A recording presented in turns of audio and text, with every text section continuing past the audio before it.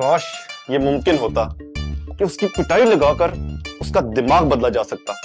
तो मैं उसको इतना मारता और उस वक्त तक मारता जब तक उसको सारा बाजी से मोहब्बत ना हो जाती। सारा का शुक्रिया तो बनता है ना, क्योंकि जब ये हज़रत उसका दिल तोड़ने की तैयारी कर रहे थे हाँ वो बिचारी इसके प्रोजेक्ट में रात दिन एक करके इसका साथ दे रही थी।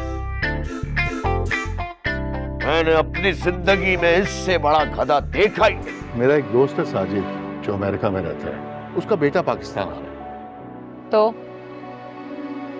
मैं चाहता हूँ कि तुम्हारी शादी उससे हो जाए। बुला लें आप।